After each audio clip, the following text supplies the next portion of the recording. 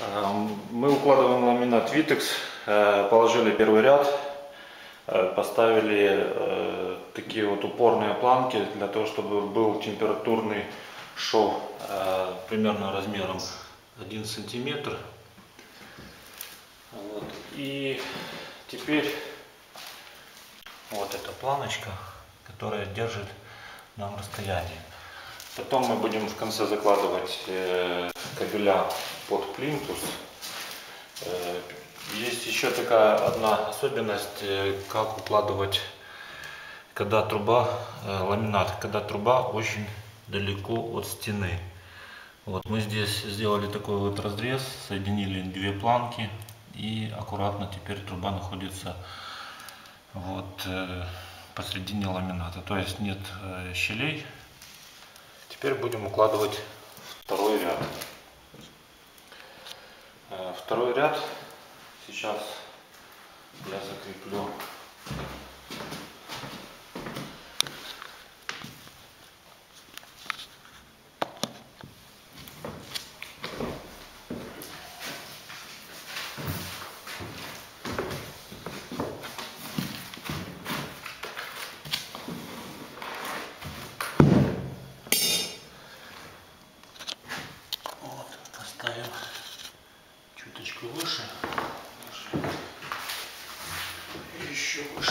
поставим.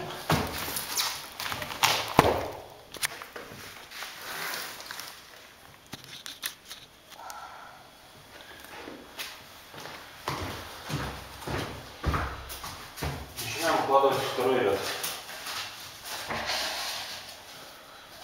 Э, Все замки сначала соединяются на торце, потом э, мы закладываем в поперечно-продольные замки. То есть как бы шип-паз. Э, Как правило, те- для тех, кто начинает, очень вкладывать э, первые 2-3 ряда. Вот. Особенно когда э, полный уровень.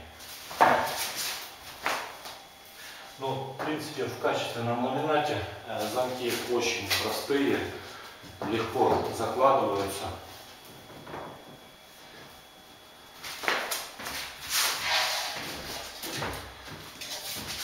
Э, Нужно быть внимательным для того, чтобы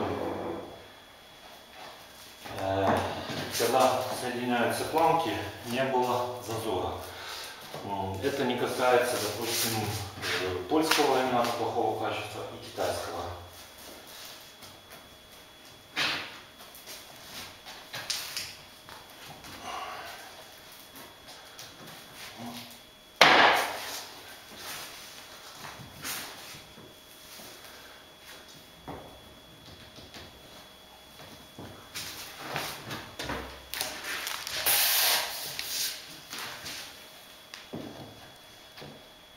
То есть мы сначала соединяем поперечный. А теперь продолжим.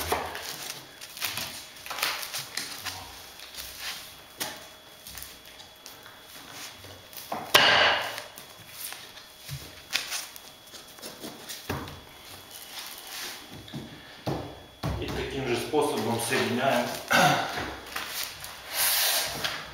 все остальные ряды. В конце ряда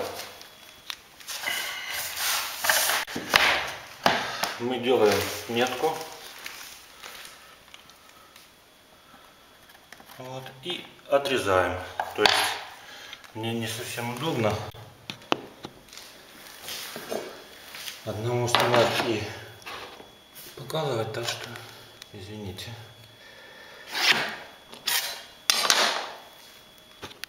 Теперь отрезаем.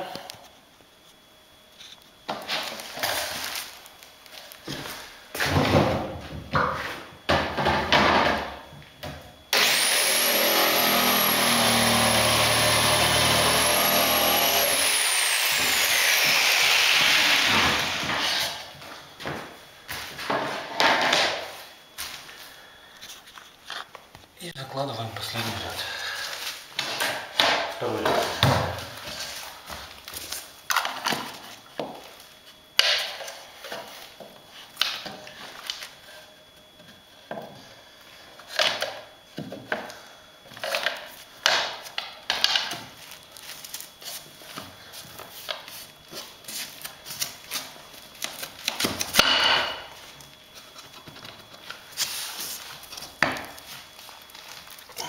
Получилось у нас э, два полноценных ря- ряда.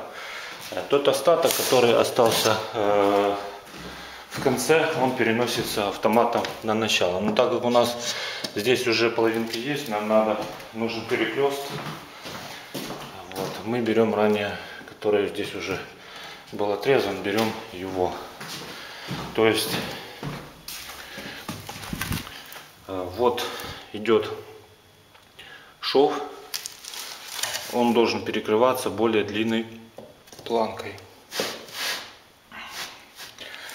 Температурный зазор должен быть около сантиметра, то есть по всему периметру комнаты.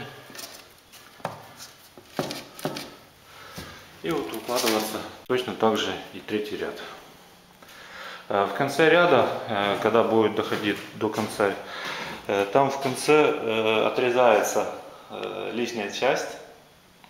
Точно таким же способом закладывается планка.